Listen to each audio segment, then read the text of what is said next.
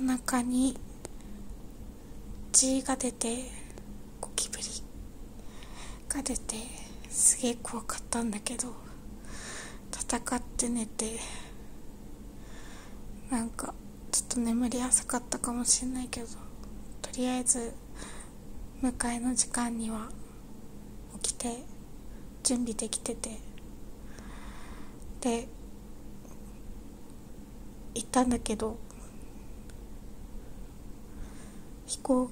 機の乗る前にチェックインでちょっとごたごたがあってあの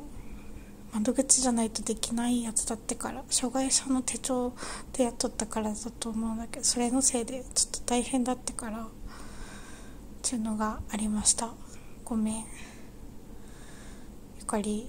準備不足だなって思いながらでもちゃんとしないとっていうのもどっちもある感じです。回切ります。